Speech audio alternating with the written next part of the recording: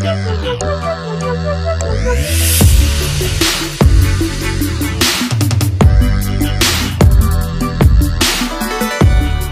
guys, today I'm going to be reviewing these really bad fake human races. In actuality, they're not that bad, but they do have a lot of flaws. Before I start, I really want to thank to everyone that has subscribed to my channel.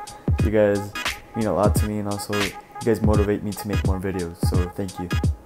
So let's start off with the box. The, the box came not as damaged as I thought it would, but it does have two really big flaws, which is the label. The label's completely off, like completely off. And it has this random sticker right here that I don't know why it came with it.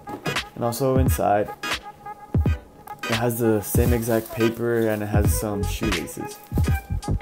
If this box didn't have those two mistakes in the labels, um, this, bo this box would be exactly like the same box, but it did have this big mistake. Now to look at the shoes, to be honest, these shoes aren't completely bad. bad. I've seen worse fakes out there. Like some fakes have the um, human race spelled out, and some fakes even have black letters. Uh, that's a really bad fake. Also, other fakes have like really really bad boost, but at least these these have actual boost. The first flaw that I saw in the shoe was the shape of the shoe. As you can see on this left shoe, there's bumps right here and looks really really bad on the right um, shoe actually looks pretty good and that's how it's supposed to be but as you can see this one looks awful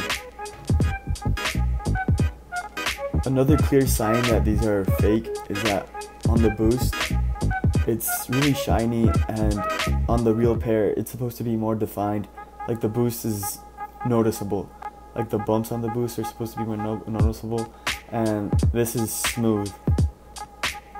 It's not supposed to be like that. Another thing that I noticed, but I'm not sure if it's just me or that the pictures I see online are different, but I think that the red on this shoe is a lot darker than on the real pairs.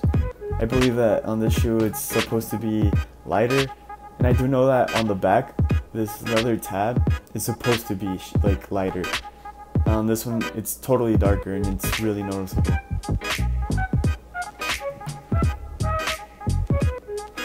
Another big flaw that I noticed was that on this R, the little circle right here, or the little red spot, is supposed to be way bigger. This one's really small, and that's a clear, a big giveaway. But for some reason, I believe that on the left pair, they actually did really good. Like I said, the shape is how it's supposed to be, and the lettering is a little bit off-centered, but it's straight how it's supposed to be. Another thing I noticed is that it has a huge glue stain right there. On the insole, has a clear giveaway that this is a fake. It says sports instead of Adidas. It's supposed to say Adidas. right there it says sports. And also around right here, it's supposed to be a dark color instead of this white color. So this concludes my video. I did get these shoes off of DHgate like all the other shoes and other stuff I reviewed on my channel. But I spent $90 on these and it kind of sucks because I expected more and for $90 they weren't worth its money. But to be honest, they are good shoes. I put them on and they feel pretty good. The boost feels pretty good too.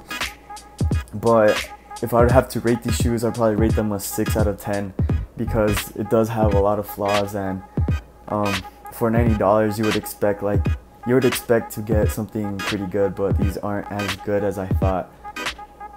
If you did like this video or if you found it helpful, please like and subscribe. Like I said, I really appreciate it and it really motivates me when I see people subscribing. And well, thank you for watching this video.